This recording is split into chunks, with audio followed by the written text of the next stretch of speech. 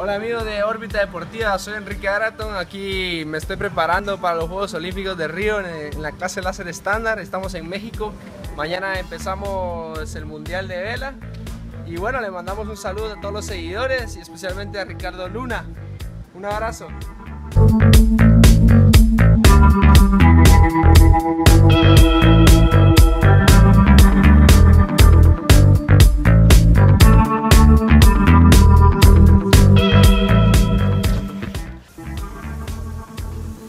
Bueno, aquí estamos en el Campeonato del Mundo en México, en Puerto Vallarta. Es un campeonato que va a durar siete días, en los cuales eh, los primeros cuatro días van a ser de clasificatoria y bueno, los restantes tres van a ser de finales.